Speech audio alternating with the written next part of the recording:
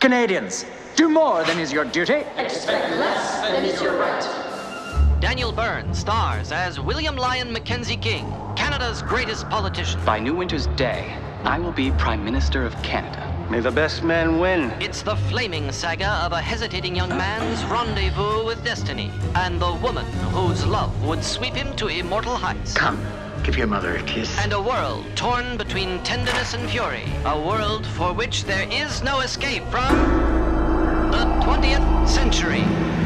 I happen to believe that politics is about building a better world. A better world? there is no better world, Mr. King. Every minute of my life has been wasted. Like everything I've ever believed has been a monstrous lie. You are a puppet in a terrible game to destroy the future.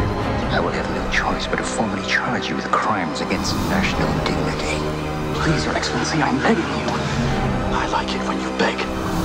Mother, give me strength. Make me equal to this moment.